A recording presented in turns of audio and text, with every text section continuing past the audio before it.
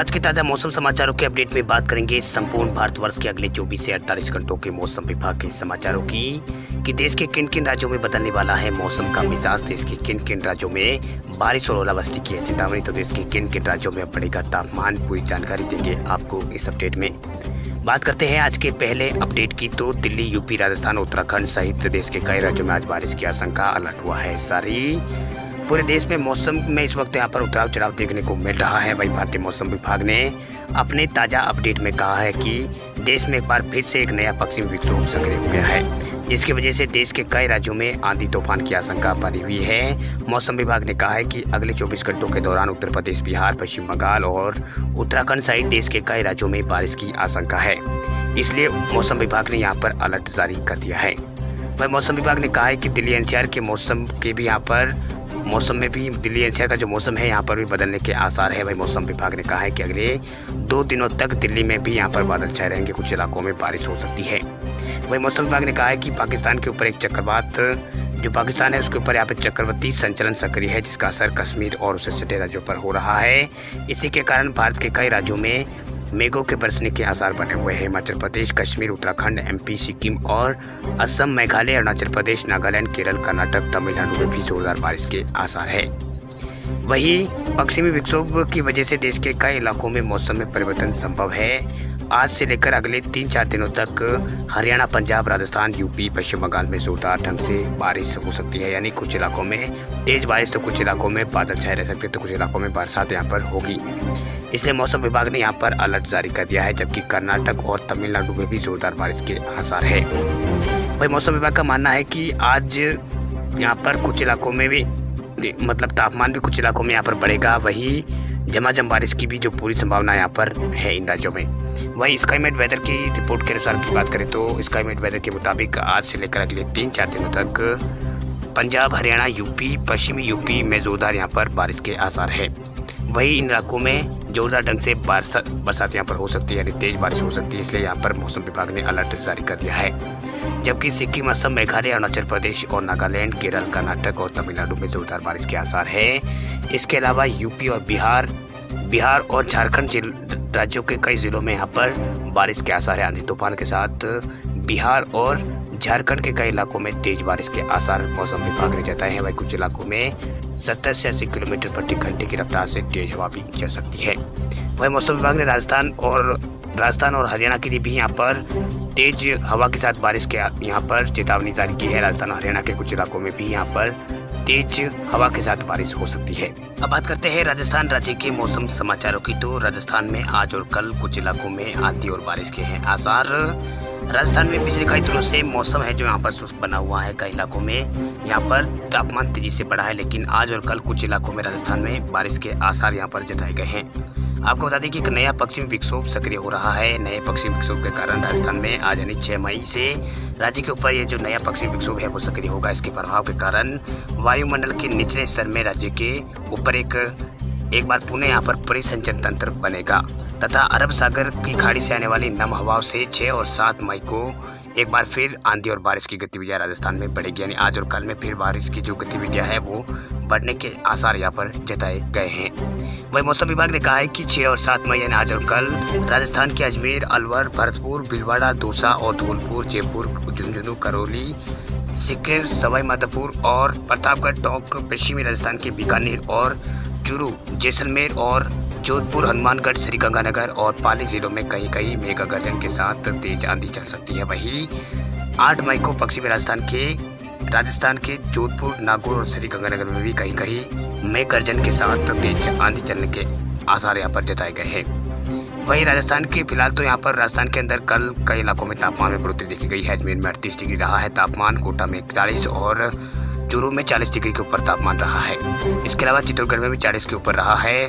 फलोदी में भी यहाँ पर तापमान 40 के आसपास और धूलपुर में बयालीस डिग्री के पार तापमान गया है। अब बात करते हैं दिल्ली के मौसम की। तो राजधानी दिल्ली में आंधी के साथ हल्की बारिश का अनुमान मौसम विभाग ने गर्मी से राहत की जताई है। आशंका, राजधानी दिल्ली में गर्मी का प्रकोप जारी है। पिछले कई दिनों से लोग गर्मी से और उमस की मार झेल रहे हैं। ऐसे में मौसम विभाग से एक अच्छी खबर यहाँ पर आई है। मौसम विभाग ने कहा है कि आने वाले एक दो दिनों में गर्मी से लोगों को राहत मिल सकती है राजधानी दिल्ली के अंदर। वही आज दिल्ली में तेज हवा के साथ हल्की बारिश का अनुमान जताया गया है। इससे तापमान में गिरावट आने की उम्मीद है। वही लोगों को गर्मी से कुछ हद तक यहाँ पर राहत मिल सकती है। इससे पहले राजधानी में अधिकतम तापमान सामान्य से तीन डिग्री अधिक रिकॉर्ड किया गया है। वही दिल्ली के ज़्यादातर इलाकों में सुबह से ही तेज यहाँ पर चमकीला सूरज निकल रहा है। वही दिन चढ़ने के साथ ही धूप भी तेज हो गई है। हालाँकि दिन के समय हल्के बादल की आवाजाही भी यहाँ पर लगी रही है। इस बीच सरपतगंज क्षेत्र के कुछ जगहों पर हल्के बादल यहाँ पर दर्ज किए गए हैं। मौसम विभाग के मुताबिक सरपतगंज केंद्र में दिन का तापमान चालीस दशमलव एक डिग्री यहाँ पर दर्ज किया गया है। इसके अलावा यहाँ पर न्यूनतम जो तापमान है वो 24 डिग्री के आसपास रिकॉर्ड किया गया है। वही जो राजधानी दिल्ली है, वहाँ पर वायु गुणवत्ता मध्यम श्रेणी में रही है। वही केंद्रीय प्रदूषण नियंत्रण बोर्ड यानी सीपीसीबी के अनुसार सुबह नौ बजे तक वायु गुणवत्ता सूचकांक एक सौ रहा है। इसकी जानकारी के लिए आपको बता दें कि, आपकी जानकारी आपको बता दें कि शून्य की पचास के बीच की वायु गुणवत्ता को अच्छा माना जाता है। वही इक्यावन से सौ के बीच को संतोषजनक और एक सौ एक से दो सौ के बीच को मध्यम पर माना जाता है। दिल्ली में फ़िलहाल ये मध्यम श्रेणी का है। वही 201 से 300 के बीच को खराब और 300 से 400 के बीच को बहुत खराब और 400 से 401 से 500 के बीच के जो एक वही है, इसको यहाँ पर गंभीर श्रेणी का एक वही माना जाता है। अब बात करते हैं झारखंड राज्य के मौसम समाचारों की। तो झारखंड में मौसम में बदलाव लगातार देखा जा रहा है। वही चार डिग्री तक यहाँ पर तापमान गिर चुका है। नौ मई तक यहाँ पर बारिश के आसार है। झारखंड राज्य की राजधानी रांची सहित आसपास के इलाकों में एक बार फिर बारिश की संभावना बनी हुई है। वही मौसम विभाग के अनुसार, आज आसमान में यहाँ पर बादल छाए रहेंगे। तेज हवा के साथ बारिश भी हो सकती है। वही मौसम विभाग ने कहा है कि आगामी 9 मई तक मौसम का मिजाज इसी तरह यहाँ पर रहने के आसार है। आगामी 10 मई से आसमान यहाँ पर साफ़ हो सकता है। इससे पहले कल यहाँ पर दोपहर बाद मौसम ने यहाँ पर करवट ली और आसमान में बादल छाए। वही हवाएँ चलने लगी। कुछ देर बाद यहाँ पर गरज चमक के साथ बारिश हुई है। मौसम विभाग के आंकड़ों के अनुसार यहाँ पर झारखंड की राजधानी रांची के अंदर एक एवं बारिश हुई है। वह अधिकतम और न्यूनतम तापमान चार डिग्री सेल्सियस नीचे पहुँच गया है। इस दौरान शहर के कई इलाकों में बिजली भी कटी रही, इससे लोगों को काफ़ी परेशानी का सामना करना पड़ा। वही पिछले चौबीस घंटों में अधिकतम तापमान तैतीस दशमलव दो डिग्री सेल्सियस और न्यूनतम उन्नीस दशमलव एक डिग्री सेल्सियस रिकॉर्ड किया गया है। वही हवा में आर्द्रता की जो मात्रा है, वो पचपन से चौपन यहाँ पर, बीच पचपन से चौपन के बीच में यहाँ पर बनी रही है। अब बात करते हैं बिहार राज्य के मौसम समाचारों की। तो बिहार में आज तेज आंधी और वज्रपात किया है, आसार। बिहार के अंदर लगातार मौसम का मिजाज यहाँ पर बदला हुआ है। वही बादलों की आवाजाही के बीच ठंडी हवाओं से लोगों को यहाँ पर मौसम फ़िलहाल यहाँ पर गर्मी से राहत लोगों को मिली हुई है। इधर मौसम विभाग केंद्र की ओर से अलर्ट जारी कर बिहार के कई हिस्सों में तेज बारिश और ओलावृष्टि का पूर्वानुमान ज़ाहिर किया गया है। वही उत्तर प्रदेश से लेकर असम तक एक ट्रिप लाइन बनने के कारण राज्य में लगातार कल भी यहाँ पर बारिश हुई इसी तरह की स्थिति आठ मई तक बने रहने के आसार है। वही पटना मौसम विभाग केंद्र ने कहा है कि 8 मई तक प्रदेश के सभी जिलों में येलो अलर्ट जारी कर दिया गया है। ऐसे में लोगों को मौसम के प्रति सतर्क रहने की ज़रूरत है। वही उत्तर बिहार के अधिकांश जिलों में यहाँ पर तेज बारिश की आशंका है, खासकर पश्चिमी चंपारण, सीवान और सारण, पूर्वी चंपारण, गोपालगंज, सीतामढ़ी, मधुबनी और मुजफ्फरपुर, दरभंगा और वैशाली। और शिवहरी, समस्तीपुर, किशनगंज, सुपौल, और मोतीपुर, और सहरसा, और अररिया, और पुणे ज़िले में तेज बारिश हो सकती है। वही बक्सर, रोहतास, और भोजपुर बपुआ औरंगाबाद, जहानाबाद, और अरवल, पटना, गया, नालंदा, शेखपुरा, और बेगूसराय, और लखीसराय, और नवादा, कैमूर, और भागलपुर, बंका, और बांका, और मुंगेर, और खगेड़िया, और जुमई में हल्की बारिश के आसार यहाँ पर जताए गए हैं। वही मौसम विभाग का कहना है कि उत्तर प्रदेश से लेकर असम तक ट्रिप लाइन गुजरने के कारण बिहार समेत हिमालय के तराई वाले इलाकों में आंधी चलने के साथ साथ फुहारें पड़ रही है।